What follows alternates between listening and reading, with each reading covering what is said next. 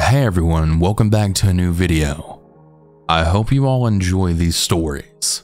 Before we begin though, I unfortunately have to give a trigger warning for story number 3, which slightly mentions some sexual abuse. So if you want to avoid stories like that, now you know. Also, I'm not entirely sure how to go about this, but it's starting to get harder and harder to do videos. I just don't really have as many stories as I'd like, so I may or may not have to do less videos a week. I might have to roll it back to like two or three a week. And I don't want to sound like I'm begging for content, because I know that's how it comes off. But if any of you happen to have a scary story that you would like to send in, consider sending it in at southerncannibal.com. And if you don't want to, that's okay too. I just thought I'd mention it. But, anyways, let's go ahead and get into these stories. And remember to always stay hungry.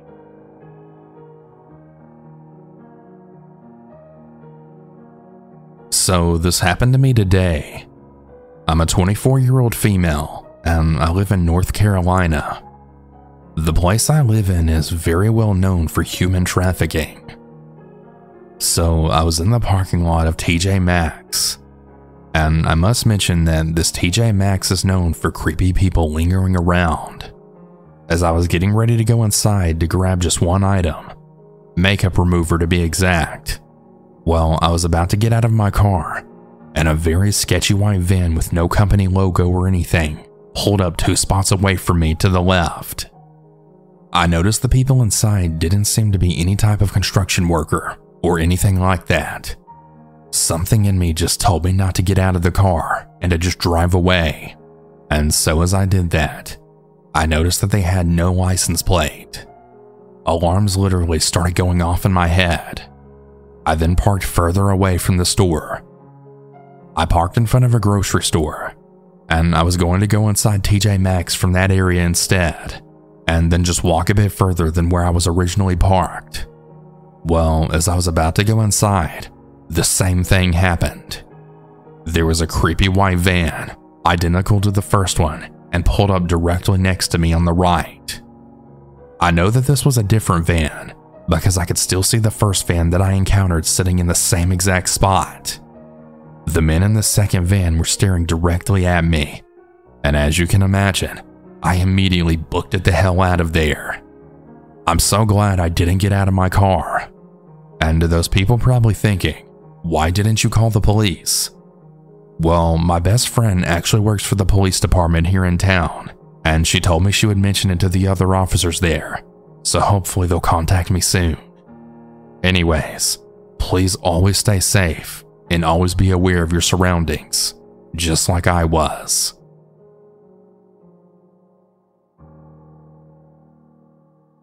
I'm a 17 year old boy, and this happened back when COVID first started, roughly two years ago.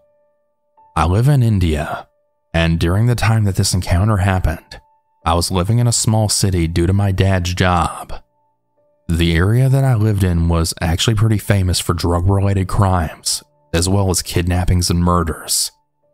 So, COVID had just started, and I was at home bored. Schools weren't reopening anytime soon, so my dad had got me started in jogging.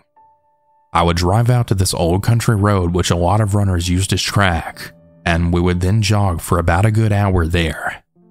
Once I got a bit more familiar with the location, I started driving out there by myself on my bicycle.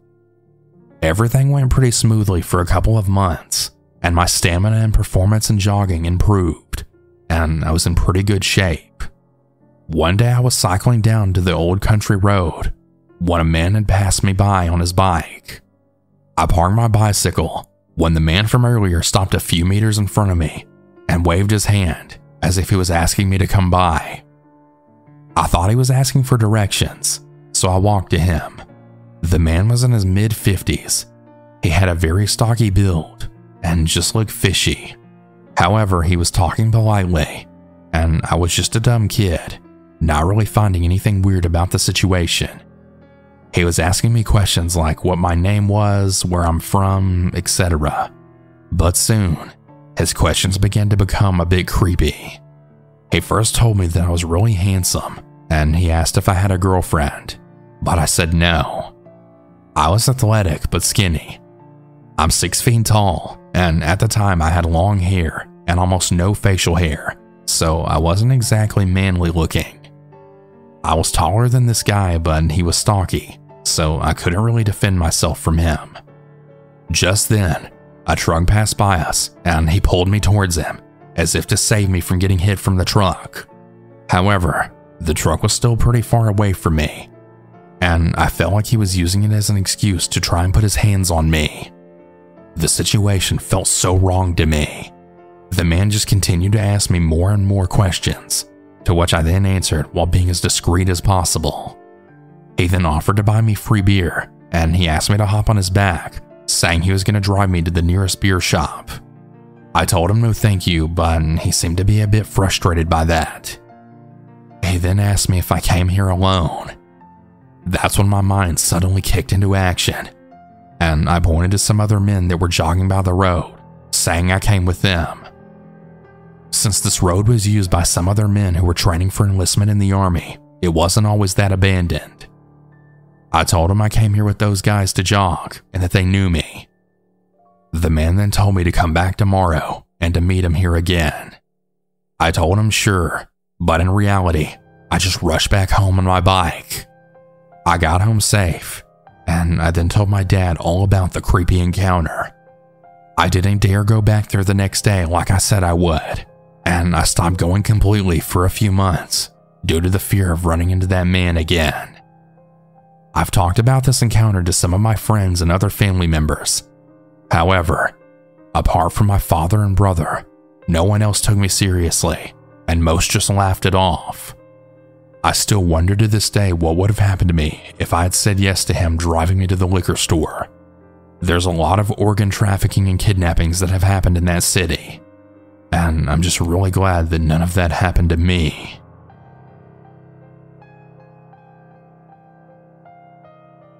So, I've been hearing everyone share their own creepy stories of coworkers and whatnot, so I thought I would share mine.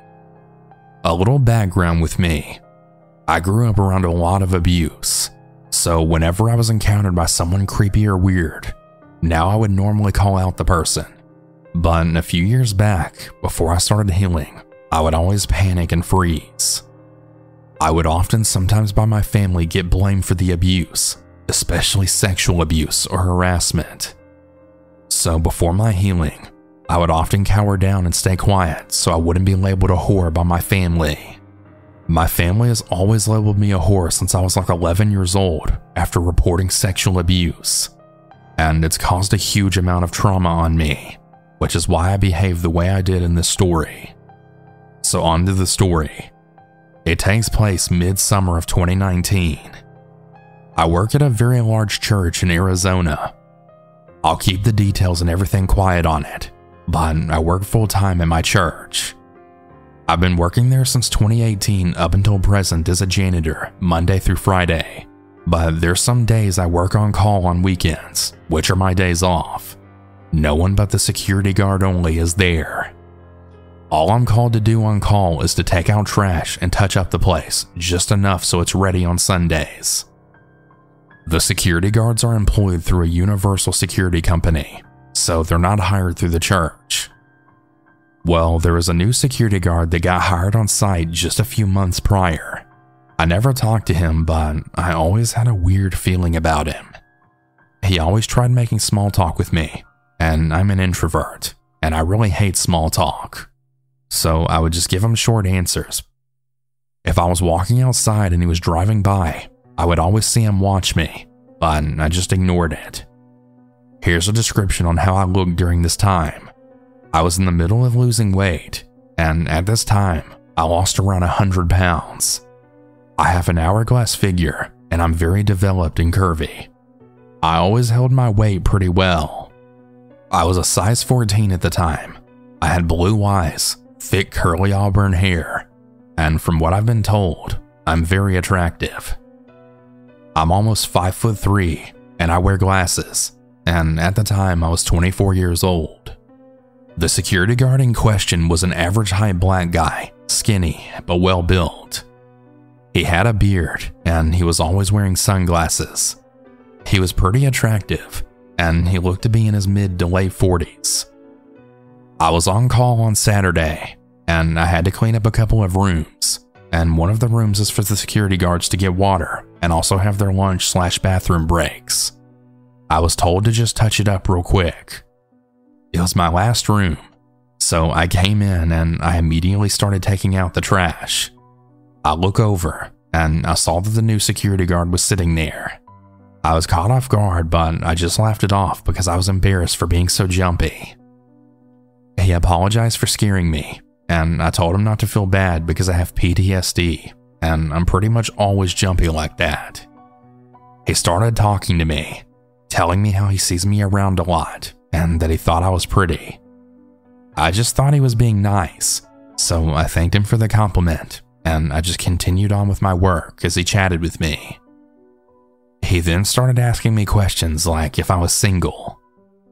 Now, quick thing I have ADHD, and I can be a bit oblivious, and I have a hard time finding a middle ground between not talking or oversharing, which is what happened. I told the guy no, that I escaped an abusive relationship a couple of years ago, and I'm really just focusing on healing and not wanting a relationship. Then the guy asked me my age. I told him I'm 24, and he then responded back with, Well, you're very well built for a 24 year old. I was caught off guard with that, and I actually went quiet for a second. He smiled, then said, Sorry, I meant that in a respectful way. I gave an uncomfortable laugh, and he then asked me if I do anything else other than work at the church. I told him that I sing and that I actually just finished recording a song that I wrote in a recording studio just last month. He got really excited and he then told me how he's a rapper. I felt relieved that the conversation changed to music and he had started playing some of his music for me. The mood in the room changed quickly and I started feeling more comfortable again and I actually forgot all about earlier. I played my song for him and also a few cover videos that I did. He offered to collab with me on some songs, and he even gave me his number, and he told me his name, but I can't fully remember it. As I saved his number, he then said, You know what my name means, right? But I told him that I didn't, and he then said, It means friend. I just nodded my head because I didn't really know how to respond to that, to which he then said back, you're a very beautiful young woman. It's a real shame you don't have a man. And once again, I started feeling very uncomfortable, and I tried giving him the hint that I'm really not interested by just saying, I really don't want a man though. And once again, he asked a weird question Are you a virgin? I froze for a moment, then saying, I'm waiting for marriage. Oh, well, that's good. That's the right thing to do. Give it to a man who deserves it. He replied back. I quit looking in his direction and I started trying to place a trash bag in the trash can, as I then said, Yeah, that's the plan. To which he then replied back with, Well, you have my number now. If you ever want to feel like a woman, you can call me. I could take you out to dinner and make you feel like a real woman.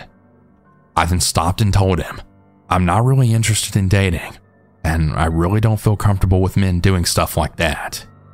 How come? Has no man ever treated you right? He replied back, No, unfortunately, and I just really don't feel comfortable.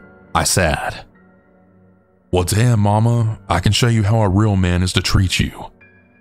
You have my number, and you can just call and text me whenever you're ready for that. At this point, I'm shaking and my anxiety is through the roof, and I was fighting everything in my body to not freeze up. Look, I'm really not interested in dating. I said, It's not to be a date. It's just me wanting to make you feel like how a woman should feel. That's all. I just want to treat you right. He said, I grabbed the carpet Swiffer and I headed over to the bathrooms to Swiffer the hallway carpet and also to pretty much give him the hint that I'm done. He gets up from his chair and he heads out the door to the room. But as he's heading out, he looks back at me and smiles, then saying, It was really nice talking to you, beautiful. Remember, call or text me whenever you're ready to feel like a real woman. When he left, it actually took me a couple of minutes to hit what just happened. My stomach was tied up in knots, and I felt sick to my stomach and really pissed off. My at the time friend was going to pick me up and called me to let me know that she was on her way. I then told her on the phone. A security guard just literally harassed me. He told me to text or call him if I ever want to feel like a real woman. She got so grossed out by it, and she told me to hurry up and finish up the room so I can get out of there. I hung up on the phone, and by the time I finished the room, she was waiting outside for me. I clocked out and hurried to her car. She asked me who it was, and I actually saw him walking down the outside hallway, and he then saw us and waved to us. Once she saw him, she was actually shocked at how attractive he was, and she said she wouldn't take it as an insult, that she would be flattered if he talked to her like that. I just looked at her in pure disgust. She told me I was overreacting and that what he did really wasn't that bad, and that I should actually be flattered that he talked to me like that. Long story short, we quit being friends. The following Monday, I actually had a full blown breakdown at work. I knew that I wanted to report the guy for his remarks, but I was really afraid I was going to be blamed for it or being told I was being overdramatic. I sat in one of my areas crying for hours, trying to figure out what to do. I finally made the decision to report him. I went to the supervisor that I was more comfortable with, and I told him what happened. As I did so, I actually broke down in his office crying and having a full blown anxiety attack. My supervisor became livid and went to the HR and reported what happened. Long story short, the security guard got fired and actually banned from the church. I never tried making friends with any of the security guards at my job again, and now I pretty much always keep to myself. I know that my story isn't super intense, and it's not the most intense story out there, but it was a very scary moment for me, and this is a story that I've never went public with. This is actually my first time publicly sharing it, and I just wanted to get it off my chest. So, yeah, that's my story. And to the creepy security guard. As a security guard, you're supposed to keep people safe from creeps, not be the creep. I just really hope I don't see you again.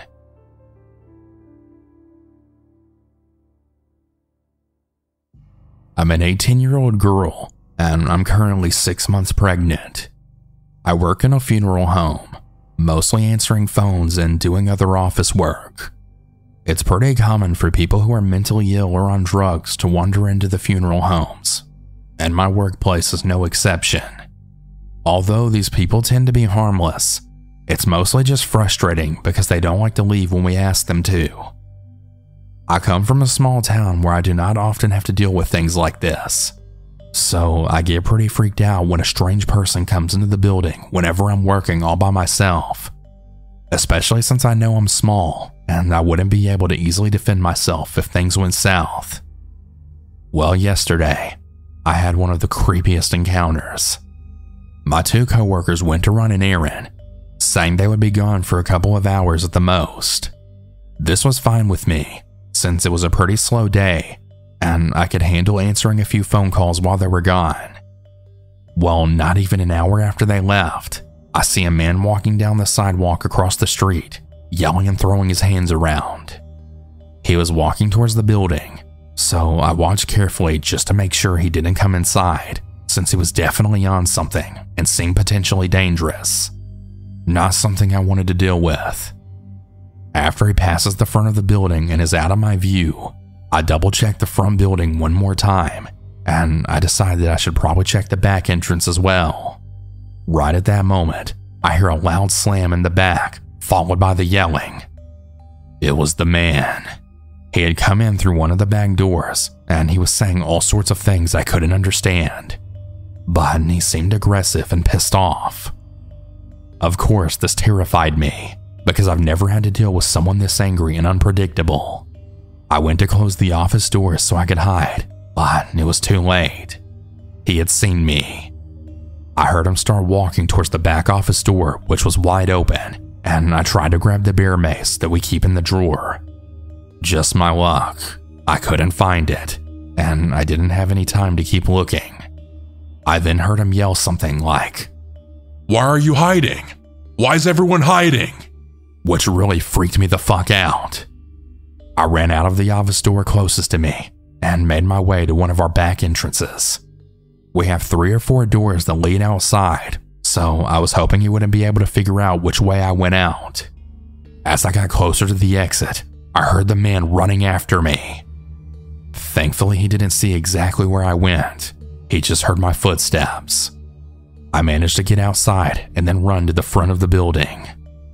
I heard him yelling and knocking shit over in the building as I went.